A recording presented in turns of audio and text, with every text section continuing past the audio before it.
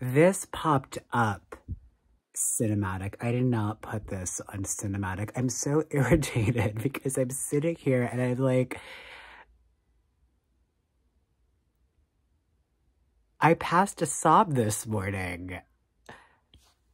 I was writing about that last night. I mean, and I just, I'm like, should I call Arthur? Should I send him an email in Spanish? Like, I don't even know what to do.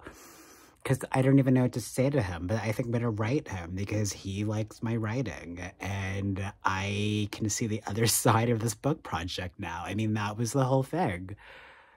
I've been saying this to everybody, but I didn't realize it myself. I mean, that's true.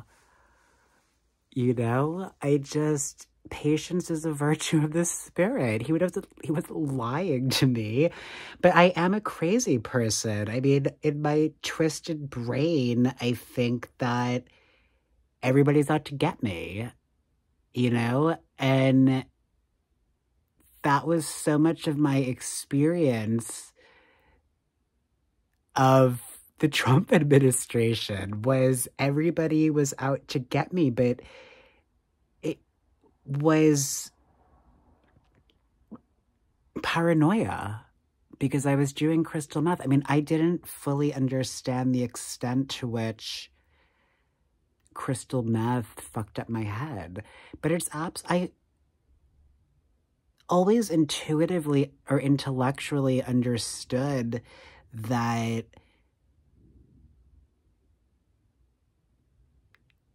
I was coming out of both a long term relationship that was very different from the one I wanted to have with Arthur, and also that I was just partying.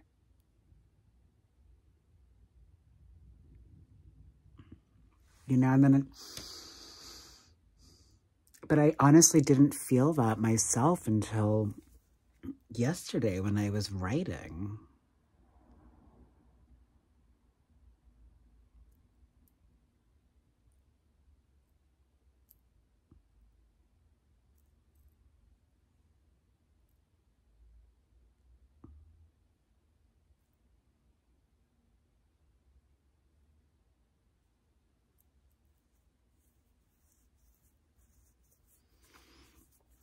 It's just very confusing for me still because everybody treats me fantastically. You know, I just had the best time at the dentist. Even though they did keep me waiting, right? I mean, that's the point. They kept me waiting while they were talking about booking airfare flights. And then nobody came out.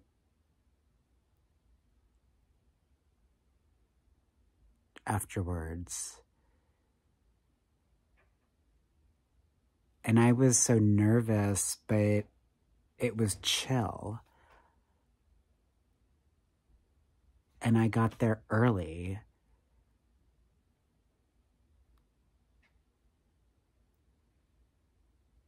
You know, and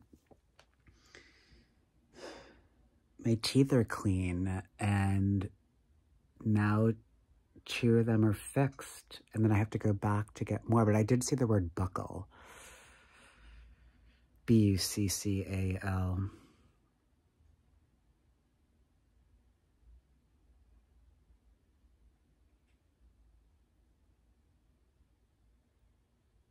and then to get the phone call about the psychiatric follow-up. And then I was like, I thought it was going to be for my Ativan, but then I was like, it was all of my other psychiatric meds. And I was like, I have tons of those here right? And the dates they gave me were 5-2 and 5-13. So I'm like, okay, but it's true. I mean, I get it, people. But it's like I lived for so much of my life under the influence of substances. And then I also lived for so much of my life under the influence of stigma you know, and to feel both the stigma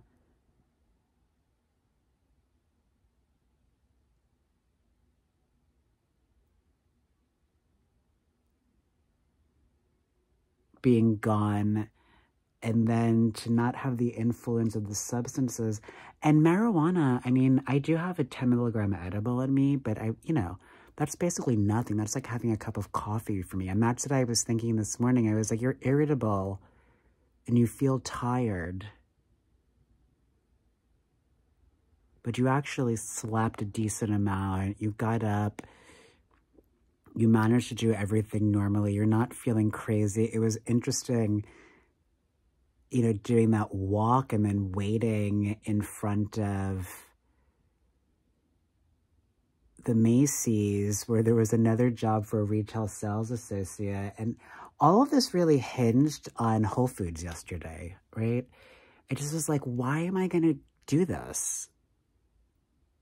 Right? I mean, last week when I was at Nordstrom, and there was a thing on the bus, right? The four, right? Which had such an interesting little loop.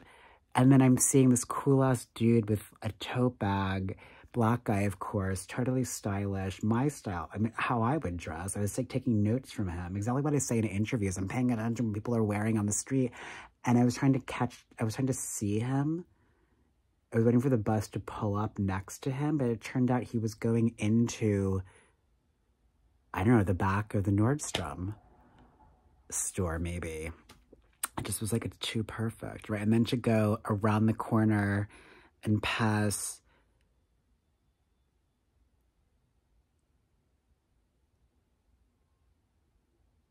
the Shake Shack, which didn't hire me, right? Joe and the Juice, which I didn't show up for that interview either online, and then I didn't hear anything from them.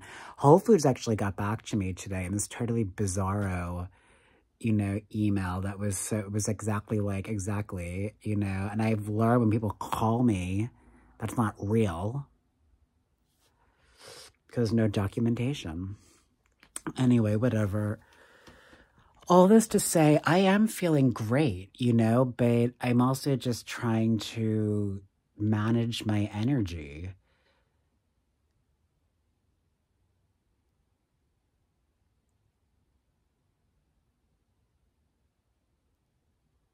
But I have had to teach myself how to write or, you know, I mean,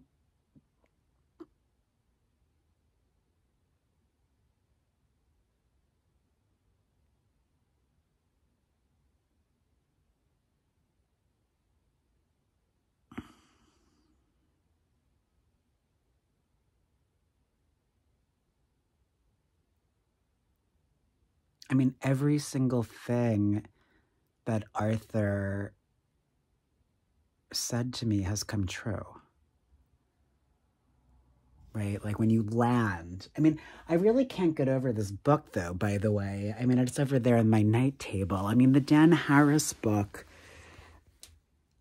And then the stuff about Amanda Seales on the tonality. I mean, but the Dan Harris book, Deepak Chopra, I mean, everything Deepak Chopra is talking about in this book, I've experienced now myself, right? Dan Harris, you know, judges him for using the language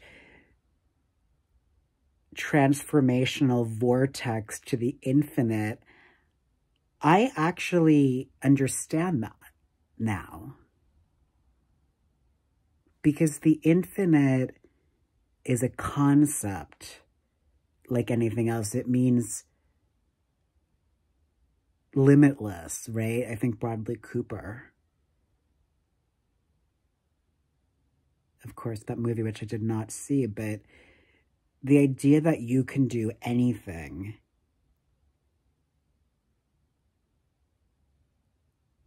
is what infinite means to me, right? You can do, I don't like how that looks you can do anything. There's no limit to what you can do on this planet. That's what that means.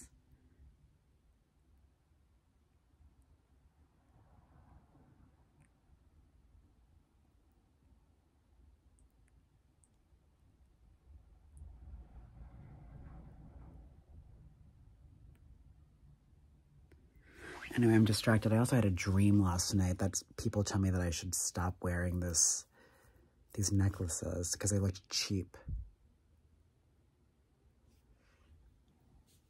And I felt judged by that. And then I was like, fuck it. I've been wearing these necklaces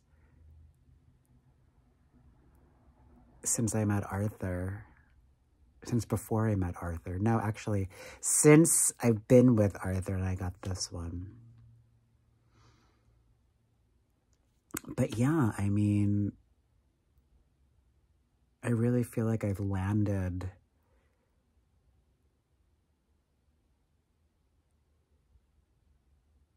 in a great place, but you know, it's still a very daunting task for me to write even this piece I want to write for New York Magazine. You know, I just have to do it really slowly, like a paragraph at a time. Anyway, I've said more than enough for now. Ciao for now.